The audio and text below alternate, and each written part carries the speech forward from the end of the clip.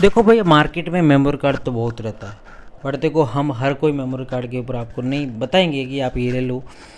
But देखो, जो brand है क्वालिटी अच्छी है, विश्वास वाला आइटम है, उसके बारे में हम बता रहे हैं भैया आपको। ये है सैमसंग कंपनी का मेमोरी कार्ड काफ़ी अच्छी क्वालिटी के, एकदम तगड़ा मेमोरी कार्ड है। दूसरे मेमोरी कार्ड फेल हो जाते हैं सिप वाले बहुत मिलते हैं भैया, आपको 200-300 मेमोरी कार्ड मिल जाते हैं। बट क्वालिटी क्वालिटी रहता है।